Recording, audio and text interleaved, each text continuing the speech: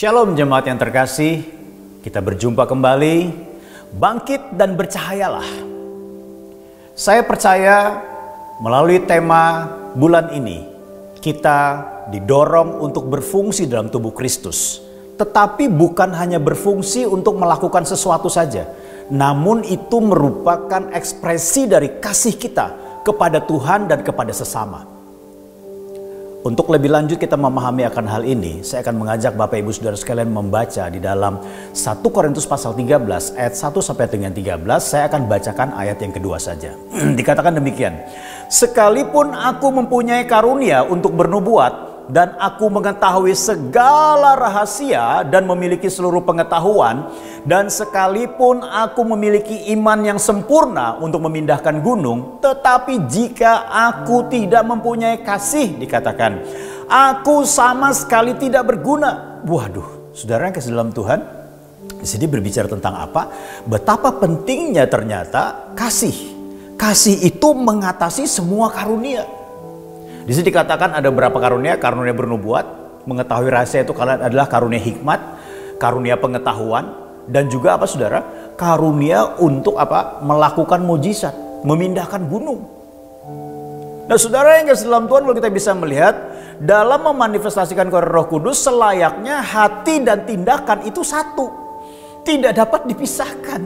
Karena apa? Tindakan yang keluar harusnya itu dari hati yang keluar, dari dari hati yang beres yang mengeluarkan tindakan tersebut, Saudara.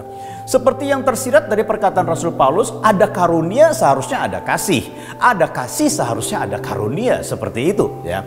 Suasana hati seseorang bisa saja mencemari bahkan membuat karunia tidak bermanifestasi dan tidak mencapai tujuannya.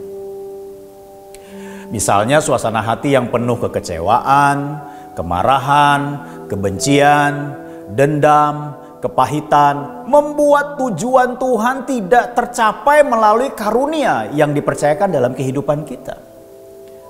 Sebab semuanya itu membuat seseorang tidak mau memanifestasikan karunia yang Tuhan percayakan dalam kehidupannya.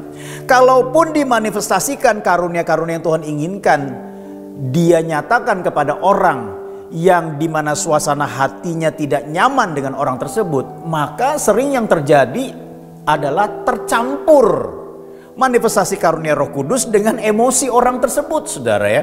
Sehingga apa? Pada akhirnya bukan lagi dengan dorongan Roh Kudus dia berkarunia, tetapi lebih kepada dorongan kedagingannya sendiri. Bahkan saudara yang dalam Tuhan bisa saja itu menghasilkan perpecahan, menghasilkan berbagai macam pertikaian. Karena apa saudara?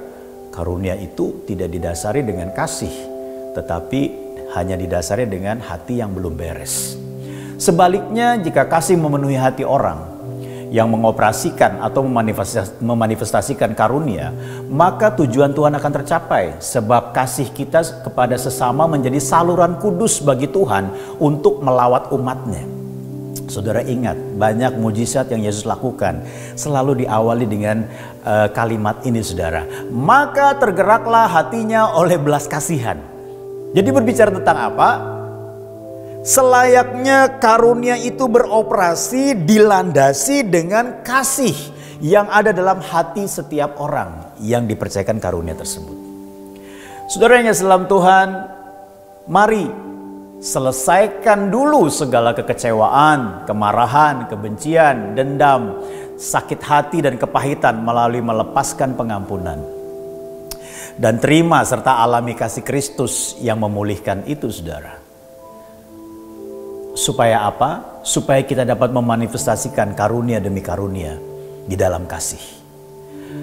Maka benarlah perkataan firman ini yang terus dalam 1 Korintus 13 ayat yang ke-13. Demikianlah tinggal ketiga hal ini yaitu iman, pengharapan dan kasih.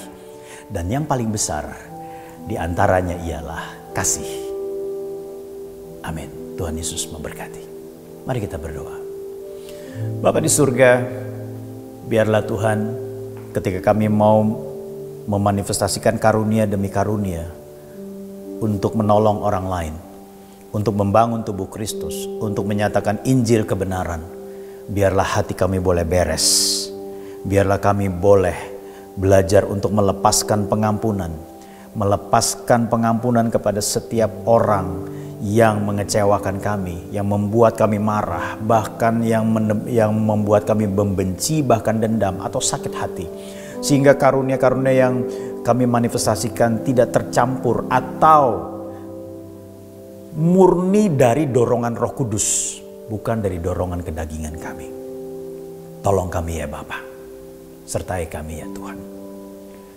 Biarlah kasih Kristus memenuhi hidup kami. Di dalam nama Tuhan Yesus kami berdoa. Amin. Tuhan Yesus memberkati kita semua.